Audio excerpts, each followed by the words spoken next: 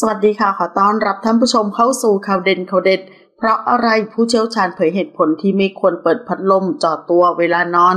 เครื่องใช้ไฟฟ้าอย่างพัดลมทำงานโดยการหมุนเวียนอากาศเย็น และแห้งไปรอบๆห้อง ซึ่งเหมาะอย่างยิ่งในการคลายร้อน แต่มันก็สามารถทำให้คอจมูก และดวงตาของคุณแห้งได้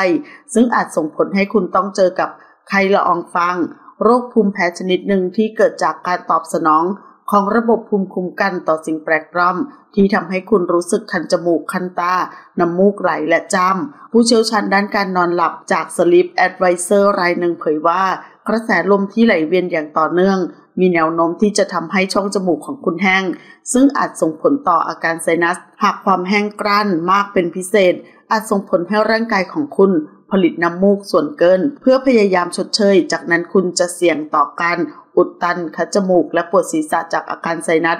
นอกจากน้ำมูกแล้วยังไม่จบแค่นั้น เพราะมันอาจส่งผลต่อกล้ามเนื้อของคุณอีกด้วย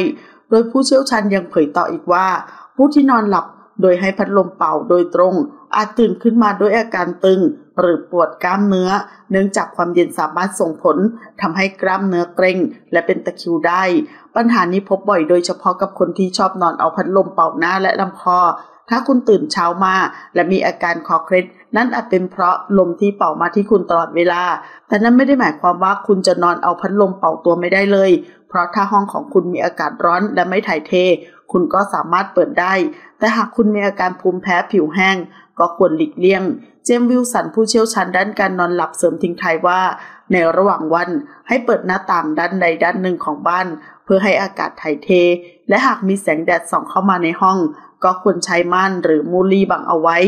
การอาบน้ำสักหนึ่งชั่วโมงก่อนนอน หรือใช้วิธีวางเท้าเปล่าของคุณ ลงบนขวดน้ำอุ่น จะช่วยให้อุณหภูมิร่างกายของคุณสูงขึ้นเล็กน้อย เพื่อเป็นการเตรียมพร้อมสำหรับการนอนหลับได้เป็นอย่างดี อีกหนึ่งเคล็ดลับที่ใช้งานได้จริงก็คือ การเอาปลอกหมอนใส่ไว้ในตู้เย็น เพื่อทำให้มันชื้นเล็กน้อย